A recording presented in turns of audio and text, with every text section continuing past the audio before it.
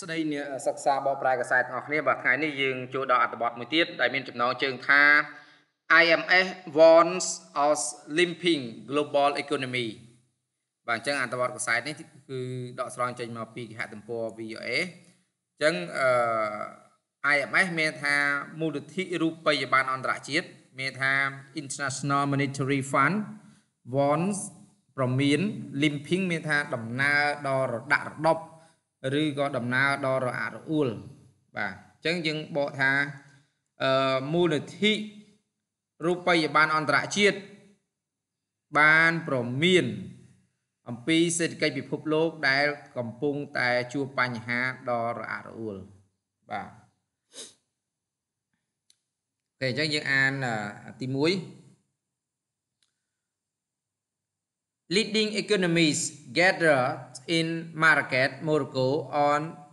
Tuesday for the International Monetary Fund's annual conference. The message was clear. The world economy is beginning to slump as uh, fissures between East and West widen. The global economy is limping, not sprinting. Chief economist Paris Olivers Gorin Chess told reporters on Tuesday បាទ slump មានថាធ្លាក់ចុះបាទ slump ជា verb ធ្លាក់ចុះ Fisher Fisher noun ការខ្វែងគំនិតគ្នា lim មានថាដំណើរដល់ពិបាកដំណើរដល់រដែករដប់ឬក៏ដំណើរដល់រអាក់រអួល spring មានថាដើរយ៉ាងរលូនបាទអញ្ចឹងយើងចាប់តាមបកបាទអ្នកសេដ្ឋកិច្ចវិទូ ដ៏ល្បីល្បាញជាច្រើនអ្នកបាទ leading economist អ្នកសេដ្ឋកិច្ចវិទូដ៏ល្បីល្បាញជាច្រើនអ្នកបាទ leading អ្នកនាំមុខគេអ្នកលេចធ្លោបាទអញ្ចឹងអ្នកសេដ្ឋកិច្ចវិទូដ៏ល្បីល្បាញជាច្រើនអ្នកបានធ្វើការប្រមូលផ្ដុំបាទ gather នេះប្រមូលផ្ដុំបាទបានធ្វើការប្រមូលផ្ដុំឬជួបប្រជុំនៅក្នុងទីក្រុងម៉ារ៉ាកេតប្រទេសម៉ូរ៉ូកូបាទប្រទេសម៉ូរ៉ូកូកាលពីថ្ងៃអង្គារ for the International Monetary Fund Annual Conference សម្រាប់បាទនេះយើងបកថា Annual Conference នេះមានថាសន្និបាតប្រចាំឆ្នាំបាទណាសម្រាប់សន្និបាតប្រចាំឆ្នាំរបស់មូលនិធិរូបិយប័ណ្ណអន្តរជាតិបាទមូលនិធិរូបិយប័ណ្ណអន្តរជាតិបាទ their message was clear បាទអញ្ចឹងមានថា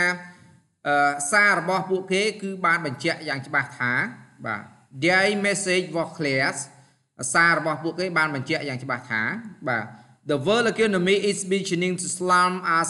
fissure between east and west widen បាទអញ្ចឹងសាររបស់ពួកគេបានបញ្ជាក់យ៉ាងច្បាស់ថាសេដ្ឋកិច្ចរបស់ពិភពលោកគឺកំពុងតែធ្លាក់ចុះបាទ is beginning to slump បាទគឺកំពុងតែធ្លាក់ចុះខណៈពេលដែលបាទ Fisher ការខ្វែងគំនិតគ្នាខណៈពេលដែល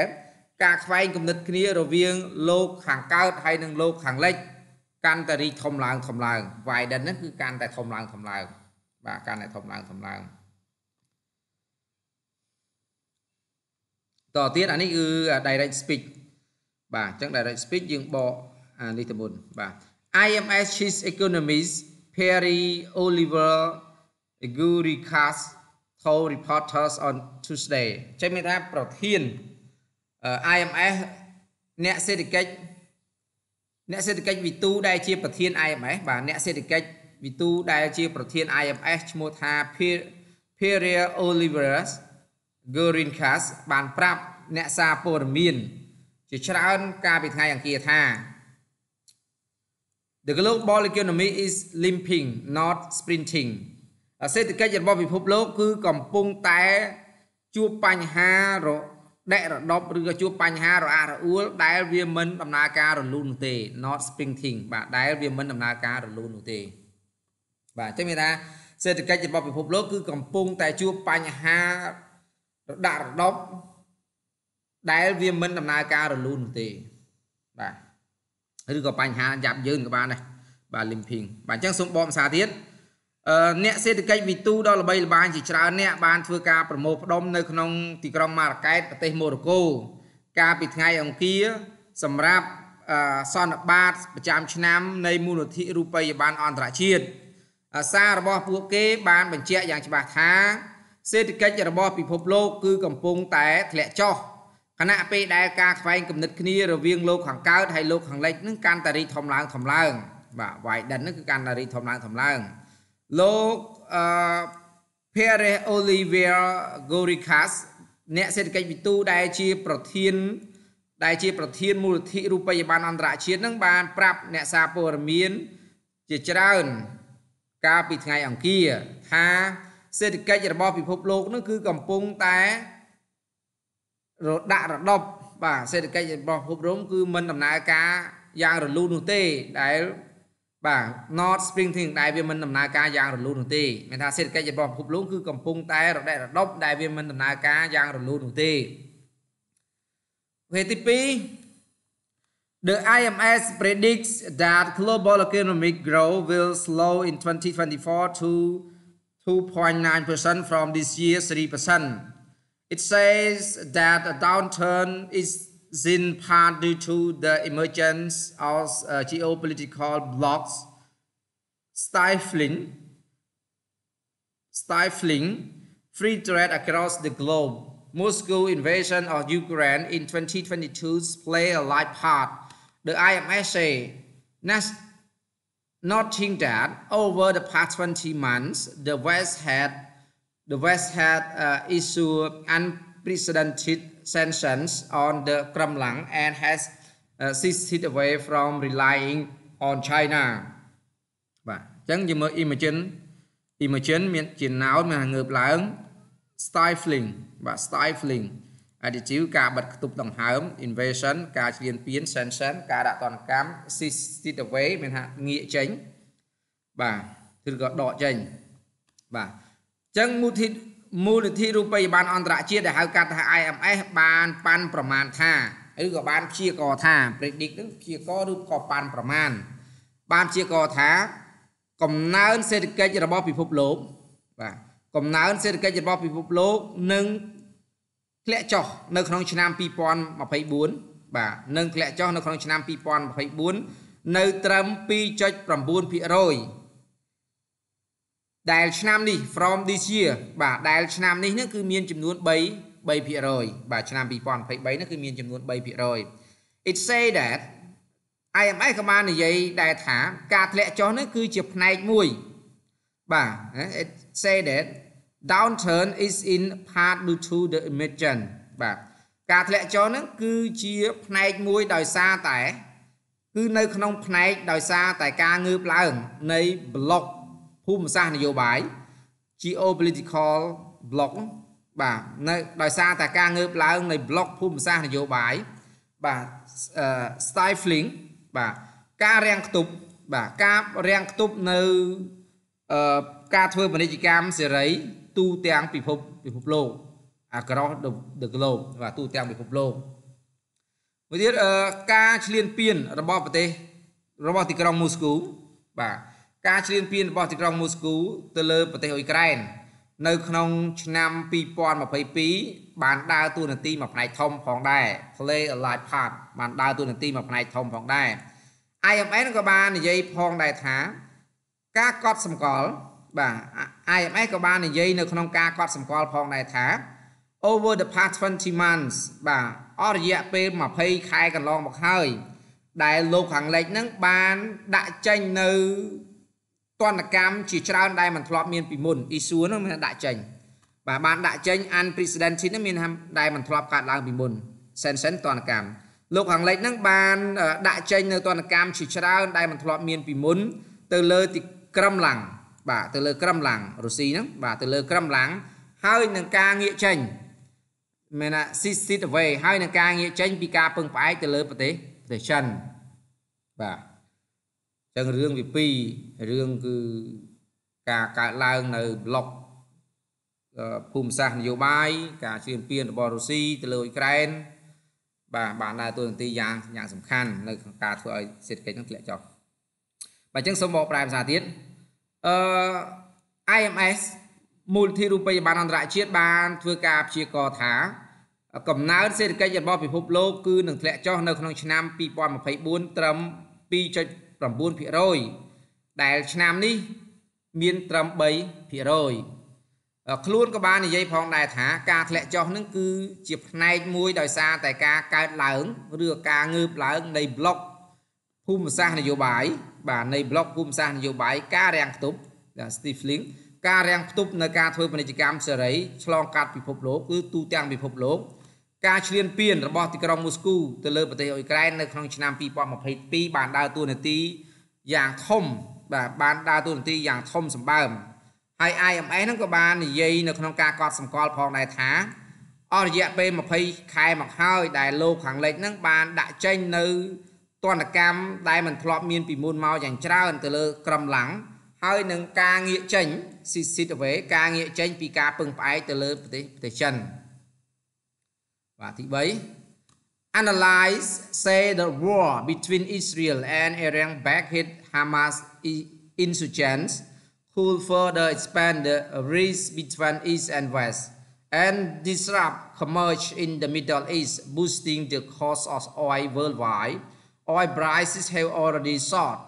in the fallout of Moscow invasion of Ukraine បាទ insurgent ហ្នឹងគឺក្រុមបះបោល reef ការបែកបាក់ disrupt រាំងស្ទះសការកើនឡើង fail out ផលលំបាកបាទអញ្ចឹងយើងមើលបាទយើងបកទាំងអស់គ្នាអឺក្រុមអ្នកវិភាគជាច្រើនបាននិយាយថា សង្គ្រាមរវាងអ៊ីស្រាអែលហើយនិងក្រុមបះបោលហាម៉ាស់ដែលគ្រប់គ្រងដោយអ៊ីរ៉ង់បាទអញ្ចឹងកន្លែងហ្នឹងគឺបកថាក្រុមបះបោលហាម៉ាស់ដែលគ្រប់គ្រងដោយអ៊ីរ៉ង់អាចនឹងហៅថា ពង្រីកអាចធ្វើឲ្យមានការបែកបាក់កាន់តែខ្លាំងថែមទៀតបាទ further expand the rift អាចនឹងធ្វើឲ្យមានការបែកបាក់កាន់តែខ្លាំងថែមទៀតរវាងលោកខាងកើតហើយលោកខាងខាងលិចបាទការរាំងស្ទះពាណិជ្ជកម្មបាទ disrupt commerce ការរាំងស្ទះពាណិជ្ជកម្មនៅមជ្ឈិមបូព៌ាបាទ Middle East បាទការរាំងស្ទះពាណិជ្ជកម្មនៅមជ្ឈិមបូព៌ា ការបង្កើននៅតម្លៃប្រេងទូទាំងពិភពលោក boosting the cost of oil worldwide ការបង្កើននៅតម្លៃប្រេងទូទាំងពិភពលោកដែលតម្លៃប្រេងហ្នឹងគឺបានឡើងស្រាប់មកហើយបាទហើយដែលតម្លៃប្រេងហ្នឹងបានឡើងស្រាប់មកហើយនៅក្នុងផលវិបាកនៃការឈ្លានពានរបស់ទីក្រុងមូស្គូទៅលើប្រទេសអ៊ុយអ៊ុយក្រែនបាទអញ្ចឹងសូមបកភាសាទៀត ក្រុមអ្នកវិភាគជាច្រើនបាននិយាយថាសង្គ្រាមរវាងអ៊ីស្រាអែលហើយនឹងពួកបះបោលអឺពួកហាម៉ាស់ក្រុមបះបោលរបស់ហាម៉ាស់ដែលគ្រប់គ្រងដោយអ៊ីរ៉ង់នឹងអាចនឹងមានការបែកបាក់កាន់តែធំឡើងថែមទៀតរវាងលោកខាងកើតហើយលោកខាងលិចហើយការរាំងស្ទះពាណិជ្ជកម្មនៅក្នុងមជ្ឈិមបូព៌ាហើយនឹងការបង្កើននឹងតម្លៃប្រេងទូទាំងពិភពលោកដែលតម្លៃប្រេងនឹងអាចមានការកើនឡើង រួចជាស្រេចមកហើយនៅក្នុងផលវិបាកនៃការឈ្លានពានរបស់ទីក្រុងមូស្គូនៅទៅលើប្រទេសអ៊ុយក្រែនបាទទី4 It is a humanitarian tragedy and it's an economic shock we don't need World Bank President Ajay Banga told Reuters on Tuesday the fact that many of the biggest oil producers in the region, including Saudi Arabia and the UAE, has not come out in support of Hamas indicates that those countries are unlikely to restrict exports, at least for now, analysts say. But oil price have already jumped by about 4% over the past few days as the bloody conflict unfolds in Gaza. បាទអញ្ចឹង strategy strategy មានអសោទិនកម្ម shock មានផលប៉ះពាល់អាក្រក់ឬ unfold មានផ្ទុះផ្ទុះឡើងបាទអញ្ចឹងយើងបកកន្លែងនេះមុនជា direct speech បាទអញ្ចឹងប្រធានធនាគារពិភពលោកលោកអាចារ្យបានកាបានប្រាប់សារព័ត៌មាន Reuters កាលពីថ្ងៃអង្គារថាអឺសោកទិនកម្មផ្នែកមនុស្សធម៌ របស់ខ្លួនហើយនឹងផលប៉ះពាល់ដល់អាក្រក់ផ្នែកសេដ្ឋកិច្ចរបស់ខ្លួនដែលយើងមិនមិនត្រូវការបាទរបស់ខ្លួនរបស់ពិភពលោកមែនទេមកសោកទិដ្ឋកម្មផ្នែកមនុស្សធម៌របស់ពិភពលោកហើយនឹងផលប៉ះពាល់អាក្រក់ផ្នែកសេដ្ឋកិច្ចរបស់ពិភពលោកដែលយើងមិនត្រូវការតទៀតបាទពីនេះ the fact that many of the biggest oil producers បាទអញ្ចឹងតាមការពិតបាទ the fact that ការពិតគឺថា ប្រទេសផលិតប្រេងធំធំជាច្រើន នៅក្នុងតំបន់បាទ Many also the biggest oil producer in the region ការពិតគឺថាប្រទេសផលិតប្រេងធំធំជាច្រើននៅក្នុងតំបន់រួមបញ្ចូលទាំងសាអូឌីអារ៉ាប៊ីហើយនិងសហព័ន្ធអារ៉ាប់មិនបានចេញមកដើម្បីធ្វើការគ្រប់គ្រងរបស់ពួកហាម៉ាស់នោះទេ have not come out in support of Hamas អញ្ចឹងមិនបានចេញមកគ្រប់គ្រងរបស់ពួកហាម៉ាស់នោះទេ ដែលបង្ហាញថាបាទដែលបង្ហាញថា ប្រទេសទាំងនោះបាទ those country ដែលបង្ហាញថាប្រទេសទាំងនោះគឺមិនទំនងនឹងរឹតបន្តឹងការនាំចេញប្រេងនោះទេបាទប្រទេសទាំងនោះគឺ unlikely មិនទំនងនឹងការធ្វើការរឹតបន្តឹងការនាំចេញប្រេងនោះទេ at least for now ជាពិសេសសម្រាប់នៅក្នុងឆ្នាំនេះឆ្នាំក្នុងឥឡូវនេះបាទ at least for now នោះជាពិសេសសម្រាប់ពេលឥឡូវឥឡូវនេះក្រុមអ្នកវិភាគបាននិយាយដោយដូច្នោះបាទអញ្ចឹងកន្លែងហ្នឹងគឺយើង បកកន្លែងនេះមុនបាទបាទយើងតទៀតប៉ុន្តែតម្លៃប្រេងហាក់បីដូចជាបានឡើងរួចជាស្រេចហើយត្រឹម4%អស់រយៈពេល4 2 3ថ្ងៃកន្លងមកនេះខណៈពេលដែលចំនួនបង្ហូរឈាមហ្នឹងគឺអឺកាន់តែកើនឡើងនៅក្នុងតំបន់កាហ្សាឬកាន់តែផ្ទុះឡើងនៅក្នុងតំបន់កាកាហ្សាអូខេអញ្ចឹងយើងបកភាសាទៀត អឺប្រធានធនាគារពិភពលោកលោកអាចាបាន់កាបានប្រាប់នៅសារព័ត៌មាន Reuters កាលពីថ្ងៃអង្គារថាអឺសោកនាដកម្មអឺមនុស្សគេថាមនុស្សធម៌របស់ពិភពលោកហើយនឹងផលប៉ះពាល់ដល់អាក្រក់ផ្នែកសេដ្ឋកិច្ចរបស់ពិភពលោកដែលយើងមិនត្រូវការនោះទេកន្លែងនេះយើងบอกថា analysis says បាទ analysis says ក្រុមអ្នកវិភាគបាននិយាយថាការពិតថាប្រទេសនៃអ្នក ផលិតប្រេងធំធំជាច្រើននៅក្នុងតំបន់រួមបញ្ចូលទាំងសាអូឌីអារ៉ាប៊ីហើយនិងសហព័ន្ធអារ៉ាប់មិនបានចេញមកដើម្បីធ្វើការគ្រប់គ្រងទៅលើក្រុមហាម៉ាស់ដែលបានធ្វើការបង្ហាញថាប្រទេសទាំងអស់នេះ គឺមិនទំនងធ្វើការរឹតបន្តឹងការនាំចេញប្រេងនោះទេ at least for now យ៉ាងហោចណាស់នៅពេលបច្ចុប្បន្ននេះបាទ at least for now យ៉ាងហោចណាស់នៅពេលបច្ចុប្បន្ននេះ ប៉ុន្តែតម្លៃប្រេងបានហក់ឡើងខ្ពស់រួចជាស្រេចទៅហើយត្រឹម4%នៅក្នុងរយៈពេល3 4ថ្ងៃមកនេះខណៈពេលដែលចំនួនបង្ហូរឈាមបានផ្ទុះឡើងនៅក្នុងតំបន់កាហ្សា5 It is too early to know how the violence in Israel will affect economics abroad. Gurinka said, uncertainty seemed to be a term to be a sum throughout the conference. The world has learned over the past three years to expect the unexpected. It is too early to jump to any conclusion here. Goriga said questioning again panic បាទ panic ហ្នឹងគឺសេចក្តីភ័យខ្លាចបាទអញ្ចឹងលោកអឺ Gurin Khas បាននិយាយថាអឺវាលឿនពេកដែលមិនដឹងពីអំពើហ ংস ាបាទគេថា it is too early to know អញ្ចឹងកន្លែង too early to បន្ទាប់មក to នេះ to កន្លែងនេះគេបកជាបដិសេធវិញបាទមិនដឹង to know ហ្នឹងមិនដឹង វាលឿនពេកដែលមិនដឹងបាទវាលឿនពេកដែលមិនដឹងថាតើអំពើហ ংস ានឹងនៅក្នុងប្រទេសអ៊ីស្រាអែលនឹងប៉ះពាល់ទៅដល់សេដ្ឋកិច្ចទូទាំងពិភពលោកយ៉ាងម៉េច How the violence in Israel will affect economic abroad បាទចឹងសុំម្ដងទៀតមានថាវាលឿនពេកដែលមិនដឹងថា អំពើហ ংস ានៅក្នុងប្រទេសអ៊ីស្រាអែលនឹងជះឥទ្ធិពលទៅដល់នឹងជះឥទ្ធិពលទៅដល់សេដ្ឋកិច្ចពិភពលោកយ៉ាងម៉េចភាពមិនប្រកបវិជាដែលមើលទៅហាក់បីដូចជាប្រធានបទមួយបាទ uncertainty seem to be some បាទ some ប្រធានបទបាទភាពមិនប្រកបវិជាមើលទៅវាហាក់ដូចជាប្រធានបទមួយនៅក្នុងសន្និសិទបាទនៅក្នុងសន្និសិទអឺតទៀត ពិភពលោកបានរៀនអស់រយៈពេលជាច្រើន ឆ្នាំកន្លងមកនេះបាទណាពិភពលោកបានរៀនអស់រយៈពេលជាង3ឆ្នាំមកនេះដើម្បីធ្វើការរំពឹងនៅអ្វីដែលมันបានរំពឹងបាទមានថាយើងធ្វើការគិតទុកនៅអ្វីដែលវាមិនអាចនឹងនឹងគិតទុកជាមុនណាបាទដូចជាសង្គ្រាមនៅតំបន់ផ្សេងផ្សេងជាច្រើនដែលយើងគិតថាវានឹងមិនអាចកើតឡើងអានេះគេចង់និយាយចឹង to expect the unexpected បាទ ដើម្បីធ្វើការរំពឹងនៅរឿងរ៉ាវដែលមិនអាចនឹងកើតឡើងជាមុន it is too early to jump មានថាវាលឿនពេកដែលមិនបានណាគេអានេះមួយទៀត too early to jump អញ្ចឹងកន្លែង too នេះយើងបកថា not វិញមែនវាលឿនពេកដែលមិនបានធ្វើការសន្និដ្ឋានណាមួយនៅទីនេះអឺលោក Guri លោក Gurin Khas បាននិយាយដោយធ្វើការអឺ ដោយធ្វើការប្រុងប្រយ័ត្នប្រឆាំងទៅនឹងសក្តីផ្លូវការបាទ question ការត្រៀមត្រៀមដែលធ្វើការត្រៀមទុកជាមុនប្រឆាំងនឹងសក្តីភ័យភ័យខ្លាច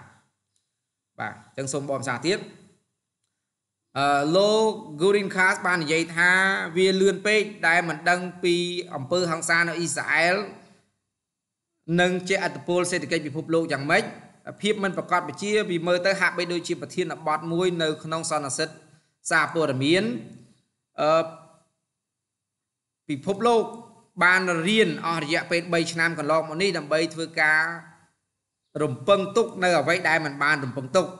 លោក Gurin Kha បាននិយាយទៀតថាវាលឿនពេកដែលมันអាចធ្វើការសន្និដ្ឋានណាមួយនៅទីនេះ